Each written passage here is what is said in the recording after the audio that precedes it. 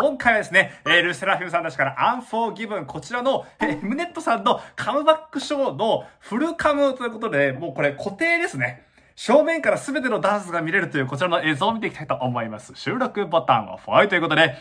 噂によると3部作なのではないかみたいな、最後のあの、な、なかったじゃないですか。次のタイトルが。っていうことは、今回のアンフォーギブンで一つ区切りなのかななんていう風に思ったりとかして、その第一章みたいなところが、こう終わったのかななんていう風に、えー、見ていたところもありまして、まあ本当に、全部曲好きです。なんでしょう、一つの本当に大きな壮大なストーリーというか、映画を見たかのような、気分になれると言いますかね。いや、でも素晴らしかったですね。ということで、えー、今回ですね、改めて Unforgiven こちら見ていきたいと思います。で、えっ、ー、と、著作権の関係あるの音はこちらに聞かせていただくのと、もしかしたらちょっと、あの、少し見にくくなってるかもしれないです。エムネットさんの映像は、あの、ブロックの対象になってしまうので、えっ、ー、と、ちょっとその点だけご了承いただければと思います。で、見終わった後に、え、感想の方ですね、しっかり述べていきたいと思いますので、よろしくお願いいたします。それでは行ってみたいと思います。レッツラーゴー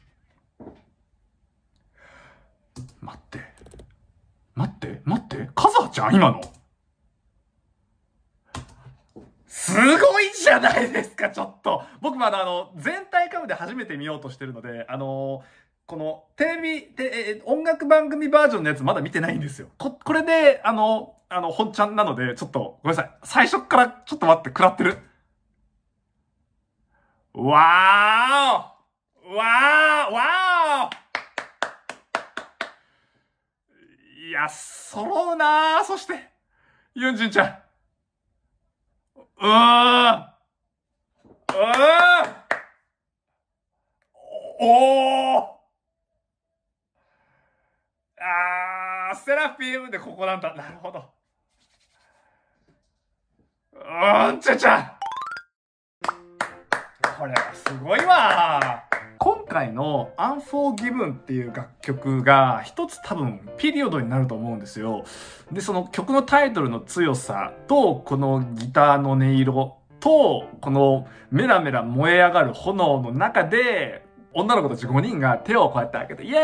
ーイってやってるって、結構じゃないですか。すごい強いじゃないですか、メッセージ性というか、なんかもういろんなことがこう考えられるというか、何かっていうその革新的なものっていうのは難しいんですけれども、ただそういう意味で少しちょっとこう、フィナーレな雰囲気が見えるというか、それぐらいこう、振り付けがある意味すごくシンプルなんですよね、情報が。前にみんなで出てくるっていう、今までのこのダンスとかを、こう、ちょっとこう、振り返って見ていただくと、結構そのダンサナブルな雰囲気だったじゃないですか。で、ラストのサビの1番と2番は同じ振り付けで、ラスサビで内容を変えてくるっていうところだったかなというふうに思って、で、ここら辺の踊り方って、細かい動きっていうよりかは、実は結構こう、ベーシックなヒップホップのダンスになってるんですよね。ダンスチックなダンスになってるっていうところも、何かちょっとこう、思うところがあるというか、そのぐらいなんか、振り付けにおける、すごい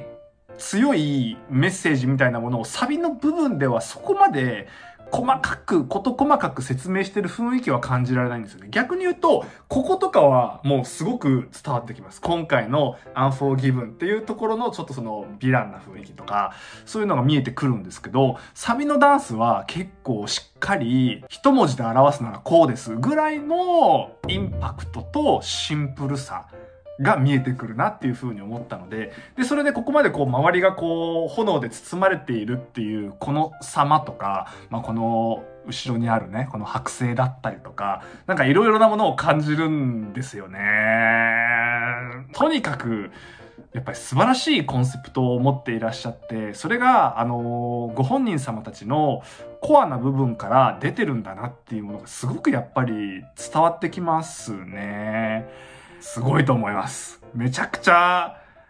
かっこいいし、改めて皆さんの等身大、そしてその等身大というものがどんどんどんどん作品を重ねるごとにバージョンアップしてる、レベルアップしてるなっていう、アップデートのされ方もだからすごいですよね。顕著にパフォーマンスにこう反映されてきますし、年を重ねるごとに醸し出していかれるものっていうものがどんどん作品に反映されていくんだろうなっていうふうにも見ていて感じましたね。はい。ということで、えっ、ー、と、ダンス、プラクティス映像とかが出てきたらまたダンスについてはいろいろとお話ししていきたいというふうに思ってますので、お楽しみにしていてください。ゲームからは以上でございます。ありがとうございました。よいしょ。せい。